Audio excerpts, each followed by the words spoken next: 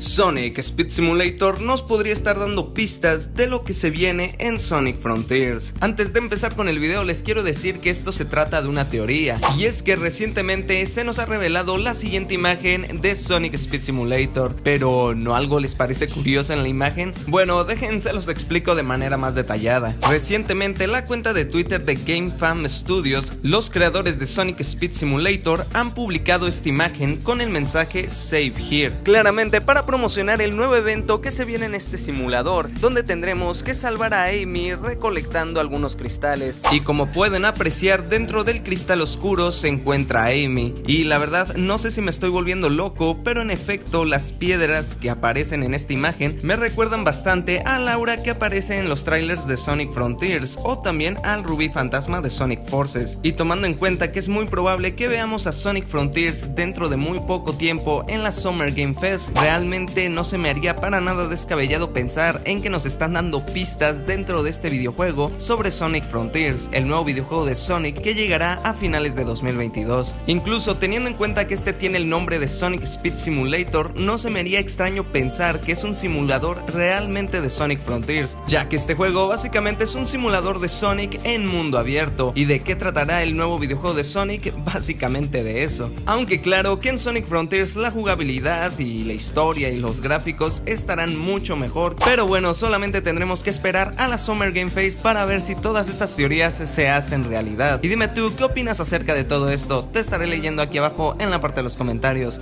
Sin nada más que decir, mi nombre es The Fly y nos vemos en un próximo video. Bye bye.